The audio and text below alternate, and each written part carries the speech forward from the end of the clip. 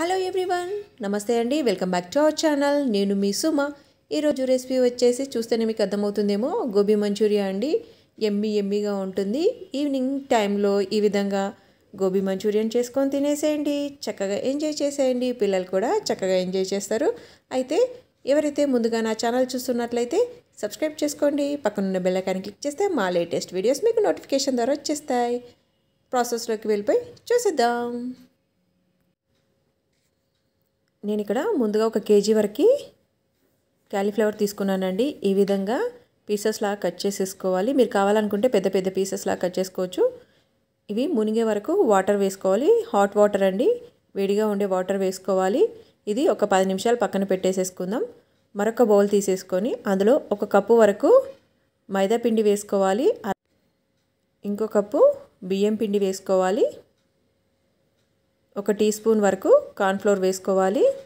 ఇవన్నీ బాగా కలిసేలాగా కలిపేసేసుకొని ఒక టీ స్పూన్ వరకు మిరియాల పౌడర్ వేసుకోవాలి.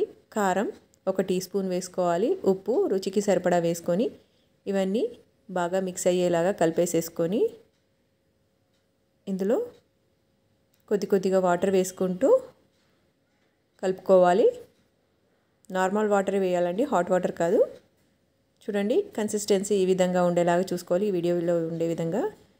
చూడండి ఇలా బ్యాక్ సైడ్ తిప్పి చూస్తే లేయర్ లాగా వస్తుంది కదా ఆ విధంగా వస్తే పర్ఫెక్ట్గా వచ్చినట్టు ఇది పక్కన పెట్టేసేసుకొని ముందుగా మనం క్యాలీఫ్లవర్లో వాటర్ వేసి పెట్టేసుకున్నాం కదా అదంతా వంపేసేసుకొని వాటర్ అంతా తీసేసి ఒక గిన్నెలో వేసేసుకొని మనం కలుపుకున్న ఈ మిశ్రమాన్ని దాంట్లో వేసేసుకొని ముక్కలకు బాగా పట్టేలాగా కలిపేసేసుకోవాలి.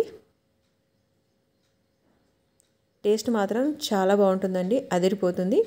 చూడండి ఈ విధంగా మొత్తం ముక్కలకు పట్టేసాయి కదా. స్టవ్ పైన ఒక ప్యాన్ పెట్టేసేసుకొని ఆయిల్ వేసుకోవాలి. డీప్ ఫ్రైకి సరిపడా ఆయిల్ వేసేసుకొని ఆయిల్ హీట్ అయ్యాక వీటిని నిదానంగా ఆయిల్లో వేసుకొని డీప్ ఫ్రై చేసేసుకోవాలి. ఇది కాస్త టైం పడుతుంది ఫ్రై అవ్వటానికి.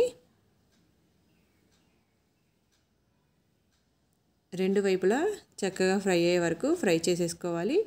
ఇది పైన కాస్త లేయర్గా ఉంటే సరిపోతుందండి. మనం కలుపుకున్న మిశ్రమం ఉంది కదా. కార్న్ఫ్లోర్ బియ్యం పిండి మైదా పిండి అది జస్ట్ లేయర్ లాగా ఉంటే సరిపోతుంది. చూడండి మీకు చూస్తే అర్థమవుతుంది కదా.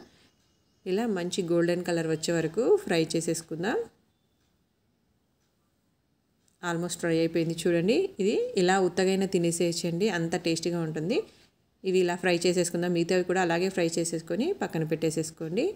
స్టవ్ పైన మరొక కడాయి పెట్టేసేసుకొని రెండు టీ స్పూన్ల ఆయిల్ వేసుకొని సన్నగా తరుక్కున్న అల్లం ముక్కలు వెల్లుల్లి ముక్కలు అలాగే సన్నగా తరుక్కున్న పచ్చిమిర్చి ముక్కలు. ఒక ఇంచు వరకు అల్లం వేసుకోవాలి అలాగే వెల్లుల్లి రెబ్బలు నాలుగు పచ్చిమిర్చి రెండు సన్నగా తరుక్కొని అలా వేసుకోవాలి. ఉల్లిపాయలు ఒకటి పెద్ద సైజువి తీసుకొని ఈ విధంగా సన్నగా తరుక్కొని వేసుకోవాలి. ఇవి కాస్త ఫ్రై అయితే సరిపోతుందండి.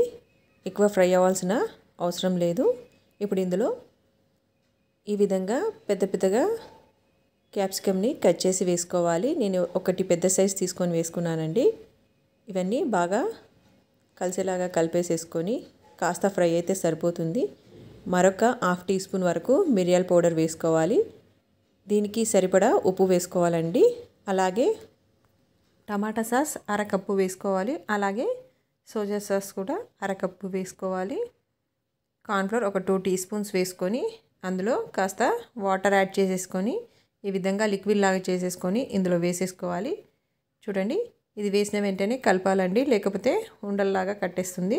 ఇందులో కాస్త వాటర్ కూడా యాడ్ చేసేసుకుందాం. ఇప్పుడు క్యాప్సికమ్ ఎక్కువ ఫ్రై అవ్వాల్సిన అవసరం లేదండి. చూడండి కొద్దిగా వాటర్ యాడ్ చేసేసుకొని అంటే ఒక చిన్న టీ గ్లాస్ వరకు యాడ్ చేసుకుంటే సరిపోతుంది. ఒక టీ స్పూన్ వరకు గరం మసాలా పౌడర్ వేసుకోవాలి. ఇది ఒకసారి కలిపేసేసుకొని మనం ముందుగా ఫ్రై చేసుకున్న గోబీని ఇందులో వేసేసుకోవాలి. చూడండి చూస్తేనే టెంప్టింగ్గా ఉంది కదా. ఒకసారి మొత్తం కలిపేసేసుకొని ఫ్లేమ్ మీడియంలో పెట్టి కుక్ చేసుకోవాలి. చూడండి ఆల్మోస్ట్ రెడీ అయిపోయింది గోబీ మంచూరియా. చూడండి ఎమ్మి ఎమ్మిగా ప్లేట్లోకి సర్వ్ చేసేసేయండి. టమాటా కెచప్తో గ్రీన్ చట్నీతో చాలా బాగుంటుంది. చూడండి ఈ విధంగా రావాలంటే మీరు మాత్రం నా వీడియోని ఫస్ట్ నుండి లాస్ట్ వరకు స్కిప్ చేయకుండా చూస్తేనే మీకు ఈ విధంగా వస్తుంది. అయితే ఈ విధంగా ఈవినింగ్ స్నాక్ లాగా చేసుకొని తినేసేయండి. మా ఈ రెసిపీ కనుక మీకు నచ్చినట్లయితే లైక్ చేయండి కామెంట్ చేయండి మీ ఫ్యామిలీ మెంబర్స్కి ఫ్రెండ్స్కి షేర్ చేయండి. ఈ విధంగా ఆనియన్స్ కొత్తిమీరతో గార్నిష్ చేసేసుకొని వేడివేడిగా సర్వ్ చేసేసేయండి. Thank you for watching. Bye everyone.